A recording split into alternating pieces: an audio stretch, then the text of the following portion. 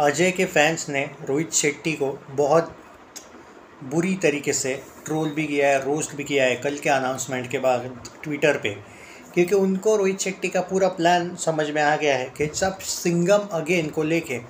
उसका ये प्लान था ही नहीं कभी कि सिंगम में वो सिंगम को बड़ा बनाएगा उसका ये प्लान है कि बाय चांस क्योंकि देखो सिंगम अगेन एक ब्लॉकबस्टर मूवी होने वाली है। ये तो इसमें कोई शक नहीं है। अगर उसमें कुछ कैमियोज नहीं भी रखते लेकिन अब लोगों को ये समझ में आ गया है कि रोहित शेट्टी जो है, वो अजय से आगे बढ़ना चाहता है मेरे अकॉर्डिंग क्योंकि पब्लिक डिमांड थी कि भाई सिंगम बनाओ सिंगम बनाओ। इसीलिए ना चाहते हुए वो आदमी क्लियरली बोल रहा हूँ मैं, ना चाहते हुए, ये वर्ड को याद रखो।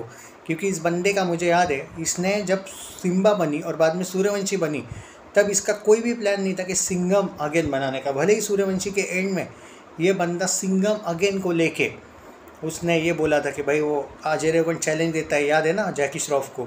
पर इसका प्लान ये था कि अगर सर्कस ब्लॉकबस्टर जाती है तो इसका प्लान था पहले सिम्बा टू बनाए, बाद में सूर्यवंशी टू बनाए और बाद में सिंगम अगेन बनाए। क्यों?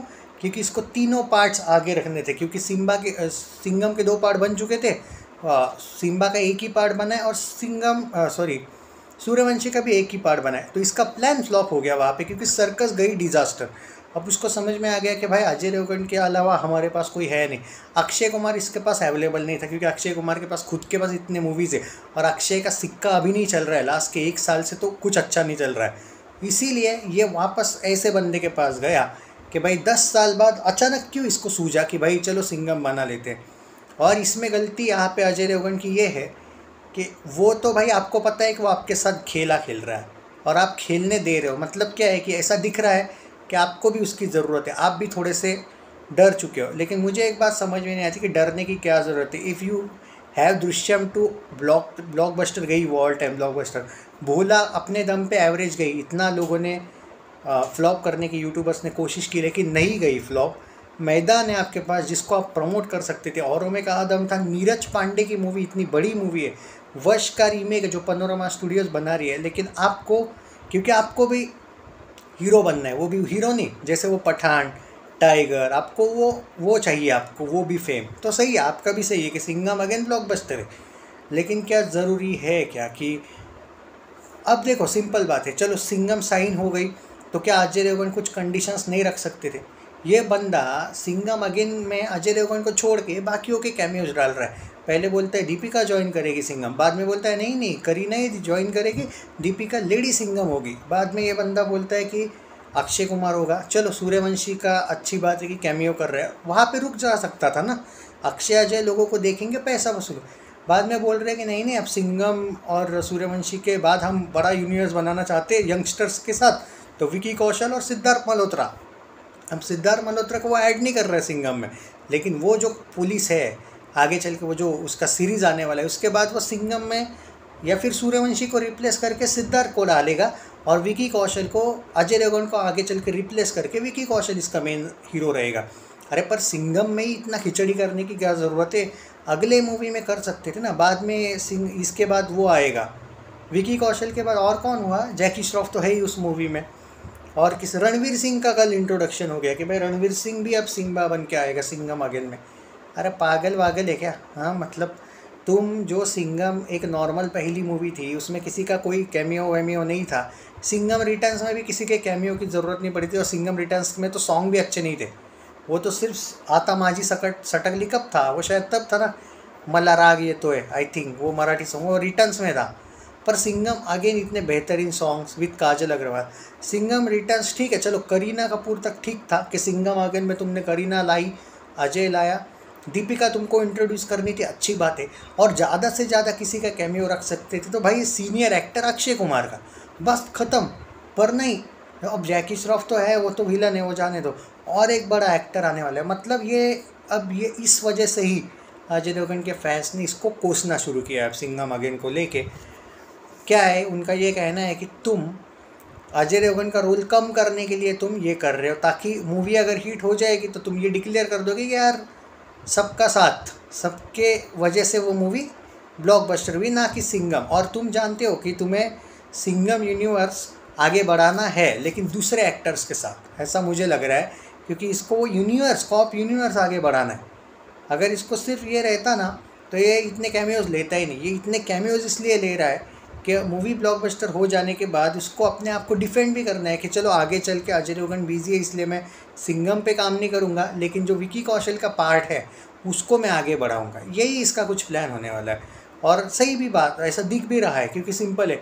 अजय देवगन लगातार इसके साथ दो बार तो काम करेंगे नहीं कि भाई चलो सिंगम अगेन के बाद सिंगम फोर साइन कर ली। पॉसिबल ही नहीं है। और इवन इनडायरेक्टली इसने तो ये भी बोला है कि सिंगम सूर्यवंशी, सिम्बा वापस बनेगी या नहीं, मुझे भी डाउट है। ये खुद इसने एक इंटरव्यू में इनडायरेक्टली बोला। है वो बोला है कि वो बड़े एक्टर से वो बिज़ी होते हैं। ये बहाना इसका ये है कि भाई वो बिज़ी होते हैं। हाँ ऑब्वियसली अजय देवगन के पास चार पाँच मूवीज़ है, अक्षय के भी पास चार पाँच मूवीज़ है, वो बिज़ी होते हैं। रणवीर सिंह के पास, रणवीर सिंह भी वो डॉन में शायद इन इन्वॉल्व हो सकता है। अभी वो करण जौहर के साथ काम कर रहे हैं। तक करके एक मूवी है जो कब की आने वाली बाकी है, वो भी नहीं अभी तक आई है। तो वो भी धर्मा प्रोडक्शन मतलब रणवीर सिंह भी बिज़ी है। इसको बहाना चाहिए कि ये लोग बिज़ी होंगे और मैं अब कॉप यूनिवर्स ही चेंज कर दूँ। इसको तो इस वजह से अब ये कल जो ट्विटर पे आप जाके देख लो, रोहित शेट्टी को टैग करके लोगों ने बोला है कि भाई इतने क्यों कर रहे हो कैमियोज और इवन कुछ यहाँ पे फैंस ने तो ये तक बोला है कि ये सिंगम का जो एक अस्तित्व है, जो सिंगम का एक इम्पैक्ट है, वो कम करना चाहता है मूवी में। क्योंकि सिंपल बात है, जब सिंगम की एंट्री होगी थिएटर में इमेजिन करो कि सिंगम आ गया। करीना आ गई, दीपिका आ गई, ये तो आपको पता ही था। लेकिन जब सूर्यवंशी का इंट्रोडक्शन होगा, बाद में सिम्बा बीच में आएगा तो सोचो यार कि ये स्टोरी है या क्या चल रहा है या? मतलब ये क्या सर्कस टू है क्या? क्या आपको ऐसा नहीं लग रहा है कि मैं सिंगम अगेन में किसी का भी कैमियो नहीं चाहिए था? मैं तो बोल रहा हूँ, फिर अक्षय का भी नहीं चाहिए था। सिंगम है रे वो। वो सूर्यवंशी और सिम्बा में ठीक था कि भाई, क्योंकि सिम्बा तुमको इंट्रोड्यूस करनी थी तो तुमने वहाँ पे सिंगम की हेल्प ली। वो सही था। और वो ओके था। सूर्यवंशी को तुमने इंट्रोड्यूस कर लिया, ठीक था। पर वो मूवीज़ ही कुछ ऐसे जैसे कि अब बाद में सूर्यवंशी आए थे। तो सूर्यवंशी में, वो सूर्यवंशी की हेल्प करने अक्षय आ जाता है, रणवीर आ जाता है। चलो ठीक था। सॉरी ये अजय आ जाता है और रणवीर आ जाता है। क्योंकि वो दो मूवीज़ बिकॉज़ ऑफ़ सिंगम बने थे। अब जो मेन मूवी है सिंगम अगेन उसमें इनके कैमियो की क्या ज़रूरत है? अरे, अजय को तुम इंट्रोडक्शन के लिए भेजो ना।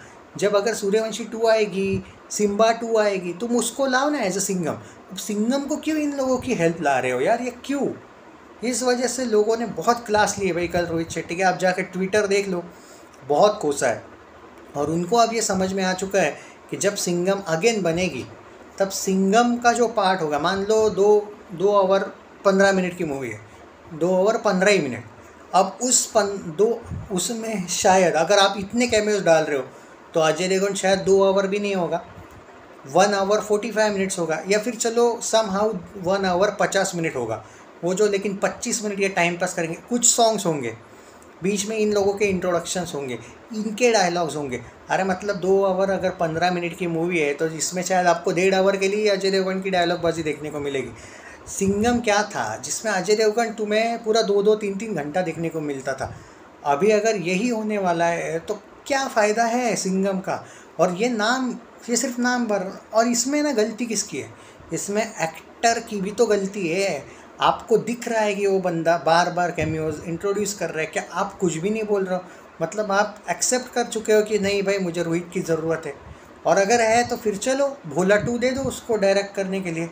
वो वैसे भी मांग रहा है, मैंने सुना है, भोला टू डायरेक्शन के लिए। तो ठीक है, अगर आपको अपने आप पे इतना कॉन्फिडेंस नहीं है कि भाई, अगर आप अपनी आवाज़ भी नहीं उठा सकते कि नहीं भाई डायरेक्टर साहब, मुझे इतने कैमियोज नहीं चाहिए। हाँ अक्षय तक ठीक है, या फिर एक दो कैमियोज ठीक है, मुझे पंद्रह बीस कैमियोज नहीं चाहिए। पंद्रह बीस नहीं, लेकिन सात आठ तो हो गए ना कैमियोज मुझे समझ में नहीं आ रहा है भाई, ये क्या मतलब। और ये इसी वजह से ऑडियंस भी कंफ्यूज है, क्योंकि कल वो रणवीर सिंह का इंट्रोडक्शन इससे पहले तो बोला गया था कि सिम्बा इनको हेल्प करने आएगा ही नहीं। पर अब जब से कल परसों से वो रणवीर सिंह का इंट्रोडक्शन हो गया कि भाई रणवीर सिंह भी होने वाले उसमें तो भाई तुम सोचो ना, अजय पे फोकस छोड़ दो। अक्षय, रणवीर, कैटरीना, नहीं सॉरी दीपिका, क्या पता भाई कैटरीना भी तो होगी, अक्षय कुमार, सूर्यवंशी की वाइफ तो दिखाई है, वो भी तो। क्या पता बाद में बोल देगा, चलो कैटरीना का भी रोल है, एक सॉन्ग ला ला देगा ये शायद सिंगम सूर्यवंशी और सिम्बा का मिला के। मतलब वो भी दस मिनट, पाँच मिनट सॉन्ग के और मूवी के काट दो। मतलब आपको अजय देवगन देखने को ही साइड बाय मिलेगा, ऐसा लग रहा है मुझे सिंगा अगेन में। एक्सेप्टेबल नहीं रही ये बात। और ये इस वजह से बहुत फैंस गुस्सा हुए पर इसको फ़र्क नहीं पड़ेगा। इसको फैंस से लेना देना नहीं है। पैसा मैटर करता है, पैसा कमाना है, ज़्यादा कैमियो जिसको लगता है, ज़्यादा पैसा मिलेगा। लेकिन कहीं ऐसा ना हो मेरे भाई कि ज़्यादा कैमियोज के चक्कर में। लेकिन होगा क्या मालूम है? जो लोग बोल रहे हैं ना, ऐसा है तो भाई सिंगम आगे नहीं चलनी चाहिए। लॉस किसका है भाई? अजय का लॉस है फिर। ऐसा मत बोलो सिंगम चलनी चाहिए, यही पकड़ लो। क्योंकि हम क्या कर सकते हैं भाई? वो डायरेक्टर और एक्टर की भी तो गलती है। वो अगर अपनी आवाज़ नहीं उठाना चाहता है तो वो फिर अजय देवगन की भी गलती है। तो जाने दो, करो सपोर्ट मैं तो कर ही रहा हूँ सपोर्ट लेकिन यार, कल जाके ये मत बोल देना कि और दो तीन कैमियोज आ गए यार।